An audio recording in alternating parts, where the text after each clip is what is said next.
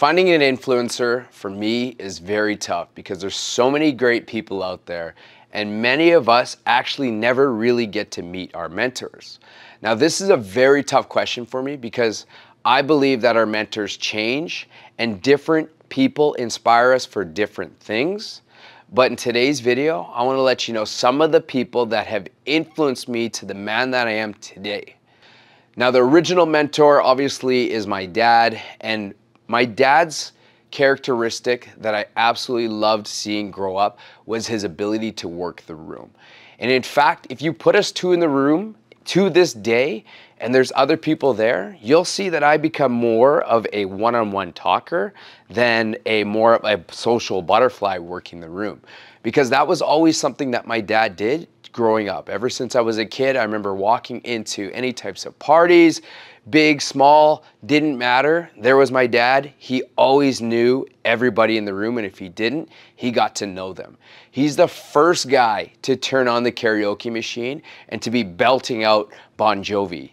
He's the first guy, as soon as that 90s hip hop song came on, he was out there dancing with his perm and his suit. And I remember him as being such a charismatic man. And even to this date, he is still that guy. So when people see me walking into a room and I start to talk to people. People say hi to me. A lot of people know me. Honestly, if you rewound 30 years ago, it would have been the same thing, but it would have been my dad working in that room. So my number one first mentor is my dad. Now the second is Jesus and God, but honestly, Jesus and God came later into my life. It wasn't really something that we grew up with. I didn't grow up in a traditional home where we went to church, where I went to Catholic school, where I knew every single you know, phrase and whatever else and got the bread and all that. Like that, I didn't know any of that. And in fact, I only started going to church when I was about 18 and it was out of pure guilt. And in fact, probably for the first 12 years of me going to church, so from 18 till I was about 30, 31, I just went to church out of pure guilt. You know, if I did something wrong or I ate, you know, like talked to somebody differently or did, you know, everything was built around me going to church just so that I can ask for my forgiveness. But it wasn't until I started going to Springs Church where they said that all sins were forgiven on the cross. And to me, that's an eye opener. So, what does that tell me? Is that my sin is already removed.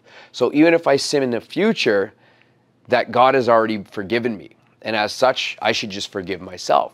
Now, it doesn't give me the passageway to go and do a bunch of horrible things, but it's a way for me to know that, hey, there is no perfect person on this world. And hey, it's okay to not be perfect.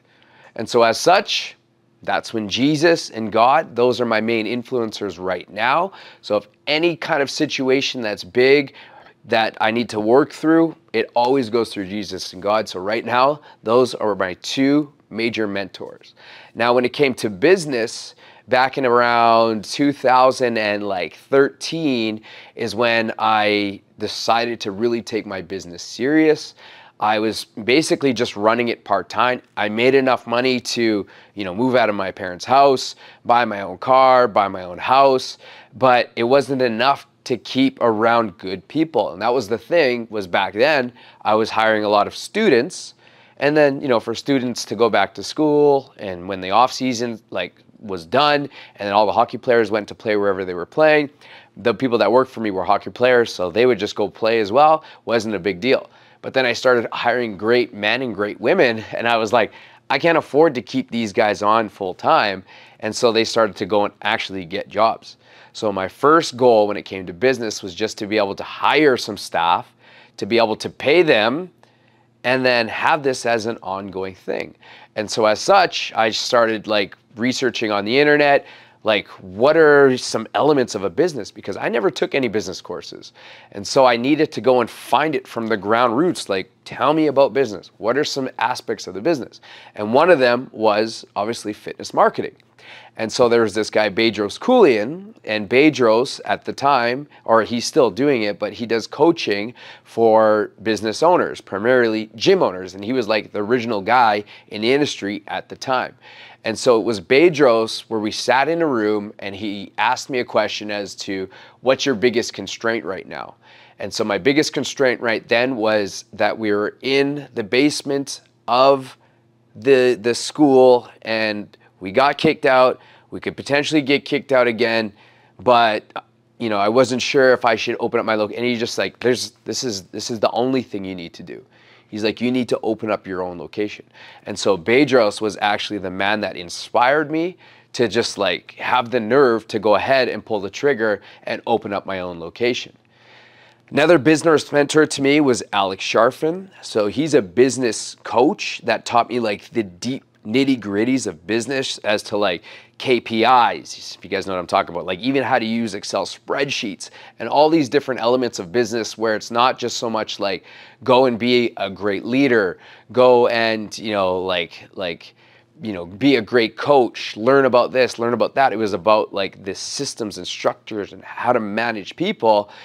And so he became my mentor for about two years. And he really inspired my life, but he was also a man that was really connected and deeply grounded with his family. But he's also a man that was all about his like life hacks. And so he was the guy that was the original. So if you watch me on YouTube or if you watch me on Instagram, you'll see that I hyperhydrate, like I chug a liter of water every single morning. And it was because of that man that I do that. And I've been doing that for, I guess, almost like six, seven years now. So Alex Charfen is one of my greatest mentors of all time. Now, the last mentor, and this man actually just re entered my life, and I wasn't sure where he's at because he was kind of old back then. But I mean, when you were in grade eight, you know, anybody over the age of like 20 looked old to you, anyways. And so, this guy by the name of Mr. Werner, he just randomly walked into the gym, and I was like, Mr. Werner? And he's like, no, no, no, no, it's Jurgen. You're Mr. Padua. He goes like that. He was such a respectful man. And he's one of the person of he's one of the very first person that inspired me to become a public speaker. He said that my speeches were so inspirational and that this is something that I do very well. And as such, his classes I took very serious. Like English writing was so important to me because of what he said. He said that my speeches were amazing. I can go up and stand up and deliver an amazing speech. I didn't know what I knew now. I just went up there and just, you know, wrote some things and he said he absolutely loved it. And so as such, from grade 8 to grade 12, we always stayed in contact even though I really only had a couple classes with him, but he's a man that was definitely an inspirational leader through my grade 8 to grade 12 going through high school. So Mr. Werner, shout out to you. So there we have it guys, my, my top inspirational mentors up to date. You got to remember that mentors evolve and different people inspire us for various reasons. So I encourage you to explore the diverse influences that shape your journey and stay open to the wisdom that comes from unexpected places. So as we wrap up today's reflection, I'd love to hear about the mentors who have impacted your life.